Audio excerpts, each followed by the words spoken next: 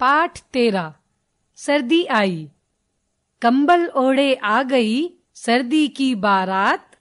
चूहे जैसे दिन हुए, हाथी जैसी रात।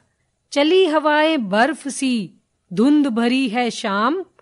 मन्नू जी रटने लगे मूंगफली का नाम। दांत बजे मुँह से धुआँ, इंजन जैसे लोग। फिर से थर्राने लगा, सारे जग को रोग। सबसे प्यारी धूप है।